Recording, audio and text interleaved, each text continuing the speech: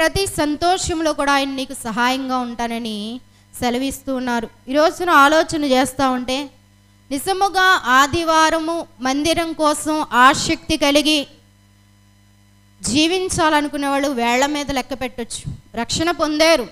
మారు మనస్సు ఉంది. కానీ ఇంతకుముందు సహోదరుడు చెప్పినట్టు హృదయ శుద్ధి అయితే తక్కువ.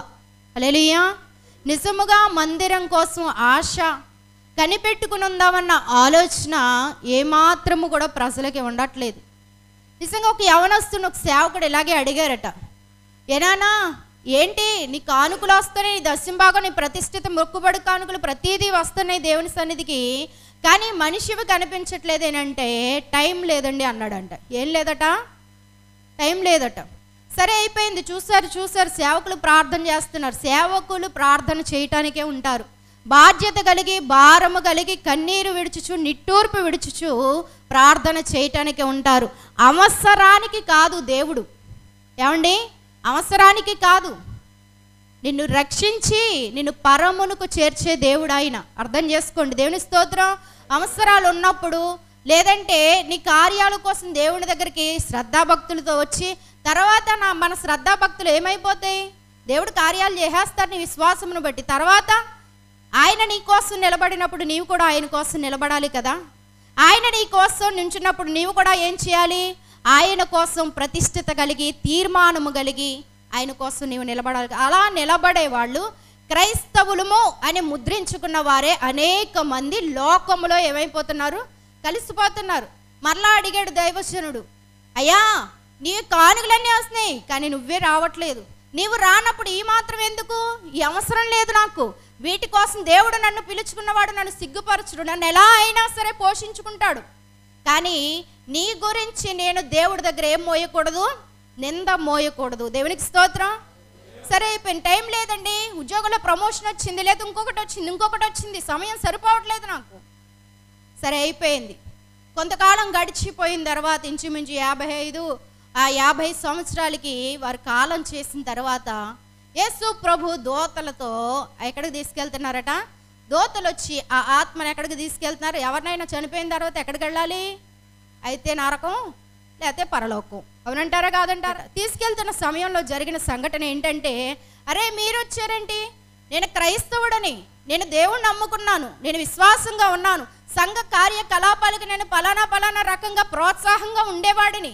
మీరు వచ్చారేంటి నా కోసం దేవదూతలు కదా రావాలి అని అంటే ఓ వారితో పోరాటం చేస్తున్నాడట. సరే ఇతను ఒత్తిడి తట్టుకోలేక వారు కూడా ఏం చేస్తారంటే రా నిన్ను మా యజమాని దగ్గరికి తీసుకెళ్తానని అక్కడ పరమ తండ్రి దగ్గరికి ఏం చేస్తారట?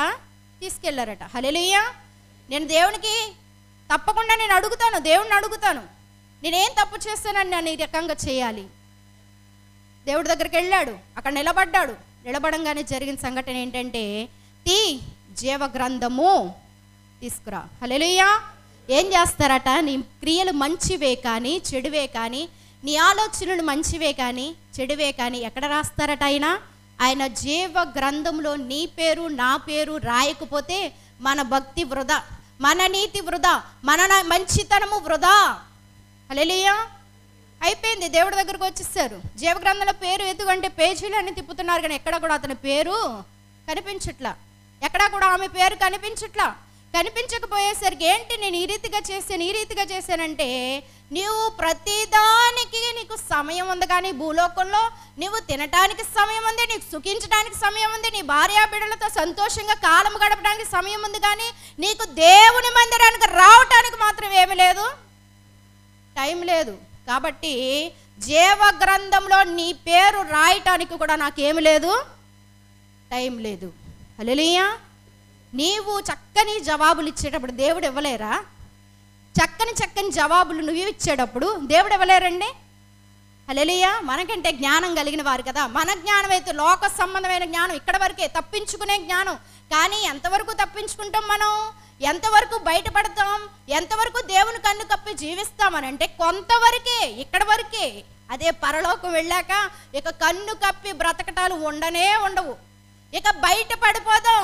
ఏదో ఒక ముసుకేసుకుని పరలోకానికి వెళ్ళిపోదాం అనుకుంటానికి కుదరనే కుదరదు. హలెలుయా మందిరానికి వెళ్ళటానికి సమయం ప్రతిష్ఠించుకోండి.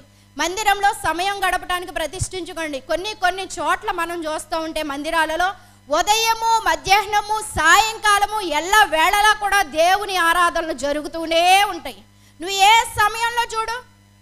ఉదయం తొమ్మిది గంటలకు ఆరాధన జరుగుద్ది.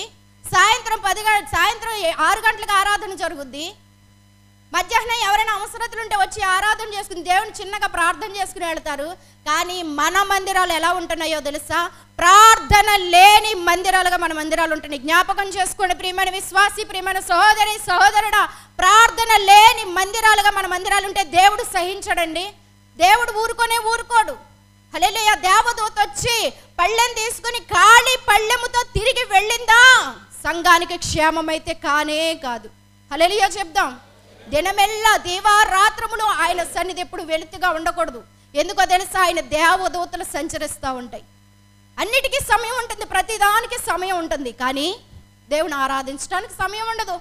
దేవుని వాక్యం చదవడానికి సమయం ఉండదు. దేవుని ప్రార్థన చేసుకోవడానికి సమయం ఉండదు. సవినయముగా గౌరవంగా మర్యాదపూర్వకంగా చెప్పేది ఏంటంటే దేవుని మందిరం ఎప్పుడు కూడా వెలితితో ఉండకూడదు.